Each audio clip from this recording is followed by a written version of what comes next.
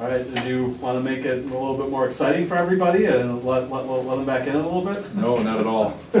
You know, I- obviously, it's kind of strange for us to, you know, turn the ball over like we did three plays, and almost three plays in a row, so it was kind of crazy, but, um, you know, talking about Paul Preston and- and Allen, I mean, it just doesn't happen, so we're not concerned about it, obviously, it, it was a part of the game, um, but I'm not worried about it going into next week. Uh, those guys handled the ball great, so I'm not, I'm not concerned about it. It was kind of like last week, you know, where you guys had the two turnovers right away in the second half, but again, they still found a way to, to overcome that and, Yeah, I'd like to stop that trend. Um, I'd like to get that done with, but, uh, yeah, I mean, that, that's our football team growing, you know, kind of growing from within is that, you know, adversity comes every game, and earlier in the year, we didn't handle it very well, and now we've two games in a row, big games, and we haven't played great at home, so to do that here at Maxwell Field was huge for our program. um, you know, how about Eric coming in and kind of, kind of stop, stopping the bleeding a little bit with that running game? You know, you didn't punch it in when when you got it down there, but he kind of settled everything down a little bit. Yeah, he's a, he's a man. I mean, he runs the ball hard and big, strong kid. And he, you saw people just falling off him. Uh, you know, he, he's healthy now. Um, you know, he's had a couple weeks where we just kind of didn't want to play him a lot. Uh, but he's ready to go now. He feels good, and, and you saw what he can do. So uh, the more he plays, the more we want to play him. Uh, what was the Paul, do do you know what happened with him, or did he just hit pretty hard? he just got hit pretty hard. I mean, I talked to him. He was. He, I had a good conversation with him, so he was fine that way, and his parents were there. So um, I think he got, you know, definitely took a shot to the head. Um, you know, it was just part of part of being tackled, you know, right at midfield there, and, and uh, so we'll, we'll we reevaluate tomorrow. Did he go through any like concussion protocol or anything like that? Yeah, they always Or- do. Anytime a Yeah. kid gets hit in the head or dinged up a little bit, I mean, you, they go through it, and Dr. Romaine looked at him, and I talked to him about it, and so everything's positive right now. We'll see how, how it reacts over the next 24 hours. And what was uh, Josh Micah's deal? He just kind of re-injured that groin last week in the game, um, so he did practice a little bit this week, so he was kind of an as emergency guy. He could have played. Um, he was good enough to play, but um, obviously we didn't need it today, so we just rest him up and, and get ready for next week. Yeah, I mean, you had Dylan come in and play pretty well. You had Ian come in and play for, for Colin, who seemed to aggravate that knee again. Yeah. I mean, you know, that, that really seemed to kind of be a, a, a big key today. that- Yeah, uh, and- and the guys you're mentioning, you know, are, are fifth and sixth year seniors, and they've played a lot of football for us. Uh, Dylan has done a great job for us, and Ian's been here six years. Um, those guys know how to play football, and they're very passionate about our team. So for those guys to walk in, I don't think anybody worried that those guys were coming on the field. They played a lot of football for us, so it really didn't look that different to me. Yeah. You know, defensively, how do you think you guys handled, you know, their, their various, you know, wildcat formations and? and Yeah, it was kind of, it was kind of scattered, you know, I mean, it was something we didn't know what they, we knew they were gonna run it with the quarterback, then all of a sudden they ran Wildcat, we, you know, we weren't prepared for that as far as, you know, had no idea they were gonna do that. Um, I, I just didn't think we had, did have a great day, um, tackling, uh, especially in the first half. Um, I think our scheme was fine, we just, you know, we just, we're playing a little bit slow defensively, um, against that Wildcat, we gotta get them make tackles, and you heard us talking about that the whole game, it's like tackle, tackle, tackle, so, uh, we'll continue to work on that, but I think our coaches handled the scheme fine, uh, we just gotta continue to make plays. When, when you get a change, it kinda throws all the stuff you'd worked on during the week out the window and go play football. Um, I don't know if you want to talk too much about this, but, you know, um, losing Tom Hosier this week, you know, Mhm. what, what was your relationship like with him? Yeah, I had a great relationship with Tom. I was with him four of the six years. Um, you know, he gave me an opportunity to continue coaching here. Um, I was with Coach Purcell before him, and then I was with Tom for four of those six years, and, and we won back-to-back championships, and he's the one who got this started here. And, uh, and I told him when, when I was working with him that I ever get that opportunity, I just hope to keep it going. And we had, and we did. So, very proud of the time that we had together. I consider Tom a good friend of mine, and very sad on his passing. Yeah, did you stay in touch with him at all recently, or Uh, did he kind of? Yeah, he kind of faded a little bit, kind of got really involved with some other things, uh, but he came back for a couple of reunions off that, the, the uh, ninety-three and ninety-four teams, and he came back, and I called him and I always invited him back, and he came back, and we had great conversations, so he just got into kind of a new direction with all his his- Yeah. history stuff and doing that, so, yeah, I know him and his, and his wife and family, and, and, uh, yeah, it's a sad, sad day. Anything about this particular game he would have liked? You know, maybe not the tackling, but Uh, you know what he, you know what Tom would have liked about this is the kind of the resilience. Uh, he was one of those guys that overcome adversity. That's I mean he did that at Macalester. That was kind of his trademark is to overcome stuff and find a way to win. And so he'd have been proud of the way the guys, even even through the fumbles and stuff, that he'd have been right there with the guys going, "I told you this was going to happen. I told you this was going to happen." So he's was very positive in adversity. and you know, back to the team. You get you guys have some, you know two, two wins in a row now. You got two more games left in the season. You know, where, where is this team? You know, he- he- heading heading now. You know, Well, again, we just got another one coming. I mean, that's the league, and but I think our kids are starting to understand what it takes to play at a high level.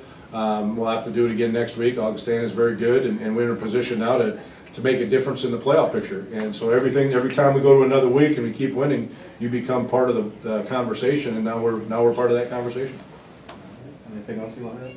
No, it's a great day to win at Maxwell Field. All right, for both you guys, you both had to come in and replace someone who was injured. I mean, uh, you know, talk about that next man in mindset and how much it was, it was key to that. Ian, if you want to start. Yeah, you know, during the week, we, we always get even reps, and it's important that you, you pay attention during the week of practice, and when you get your name called, you gotta be ready to go and perform.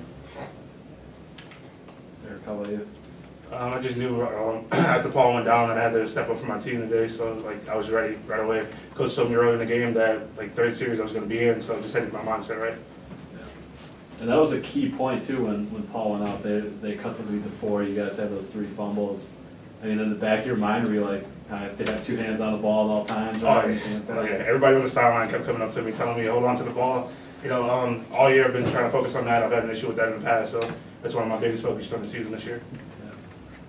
Uh, you know, when you had those turnovers, it, it was kind of like last week against, you know, Mankato did, and you guys answered the call last week and you did it again this week. I mean, just talk about, you know, how, how mentally strong this team is not to, not to totally fold in, in, in those situations.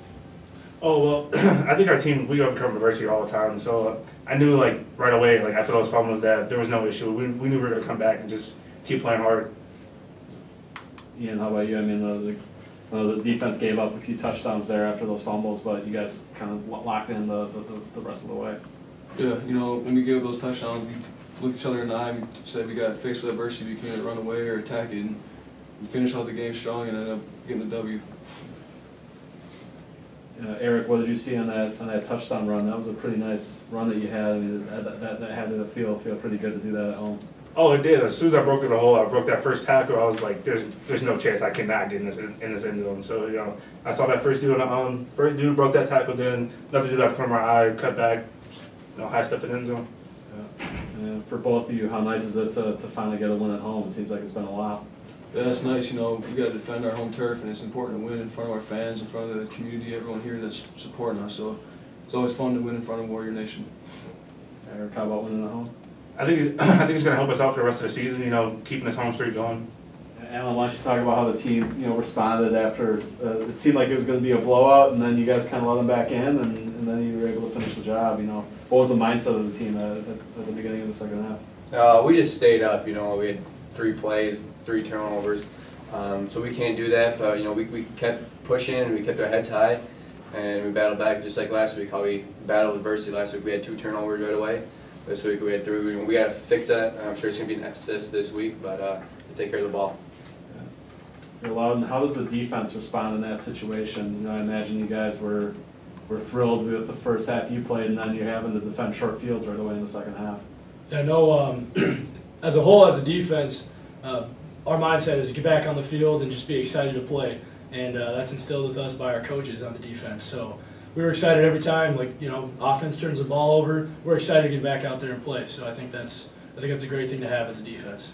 Were you guys kind of, you know, jacked up to face, you know, another team that rushes the ball all the time? You know, you weren't, they weren't gonna do too much trickery as far as the passing game, maybe some a little bit with that Wildcat, but, you know, were you guys excited for, for this challenge uh, as a, as a D-line? Oh yeah, I mean we love we love teams that run the ball. We love teams that pass the ball. I mean, it's always a challenge every week, and that's what we look forward to is having a challenge. And you know, in this league that we play in the NSIC, it's never it's never an easy game.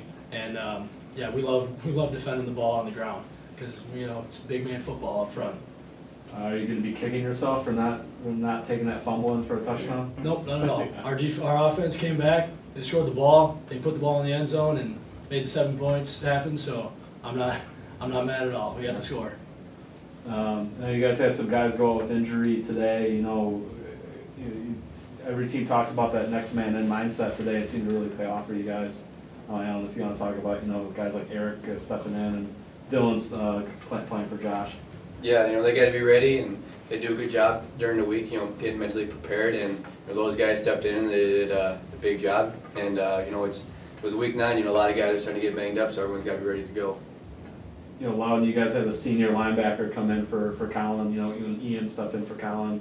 I mean, how much confidence does that give you guys to know that you have experience on that bench? huge confidence. I mean, we knew, I mean, we knew that any of our guys in that position could play the ball. Like, they can play football, they can run, they can hit, and, you know, we have confidence in all our guys back there, so, um, Ian did a great job today as well, had, had some great plays and, you know, really stepped up. You know, what is this win gonna do for you guys moving forward? Um, we just gotta keep momentum going, you know, we got a really tough team coming in next week with Augie, so we just gotta keep going, and we gotta get back to work tomorrow. Wow. starts, starts tomorrow. You know, we got Augie coming in here, they big up front, good skill guys, just like every other team. We kind of treat them like every other team and play hard.